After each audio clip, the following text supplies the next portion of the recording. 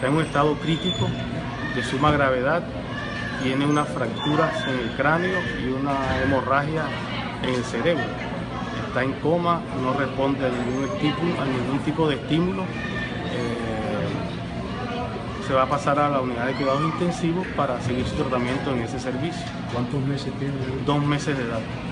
¿Y usted qué podría analizar? ¿Qué clase de golpes son? Es difícil determinar es, con exactitud cuál fue el, el, tipo de trauma que recibió.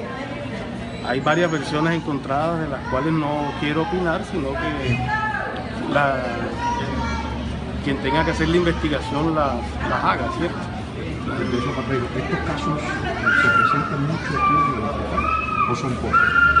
A esta edad es muy raro, a esta edad es muy raro, generalmente los traumas son en niños mayores, donde ya tienen cierta actividad, donde se movilizan de un lado a otro, pero a esta edad de dos meses es muy raro este tipo de trauma.